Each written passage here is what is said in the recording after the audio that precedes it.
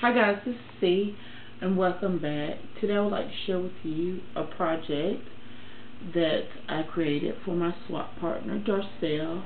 Hello Darcel, if you are watching.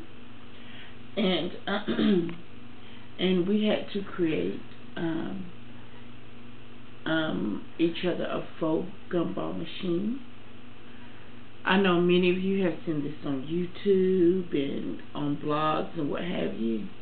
The only difference is the decorations of the um, faux gumball machine. Well, here is my guy. What I did is uh, I used rose trim for the base and for the um, bottom of the terracotta pot. I used this pretty acrylic pink flower my husband got this knob for me, which I painted it pink. And on the inside, I added this felt. Excuse me, guys. I added this felt. That way, when you put put it back down, it won't clink or chip the glass uh, of the uh, glove right here. And um, what I did was uh, got this white terracotta pot and vase. Guys, the good thing about this, I did not have to paint it. I am so excited because of the simple fact it would have took much longer to do this project if I had to paint the terracotta pot and the base.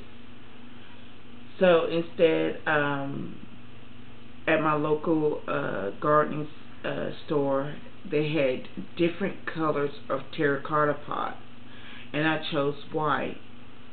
My swap partner she loves pink so I added pink decorations. And and I think this saves a whole bunch of time guys. I used the E6000 glue to adhere the terracotta pot and the uh, glass globe. It, but I suggest you wait for uh, 48 hours or so so all the E E6000 glue can um, um, evaporate it so the smell will evaporate and you don't have to worry about that smell.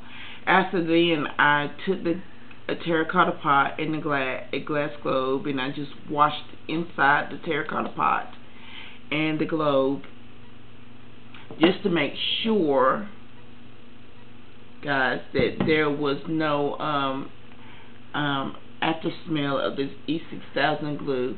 This way you could put your candy in and it's safe for you to use. And um, I love this project, guys. Darcel, I hope you love your uh, your faux gumball machine. Um, it was really nice doing uh, doing it. Um, I really had fun with this project. Excuse me, guys. I'm sorry. I just don't like glue strings.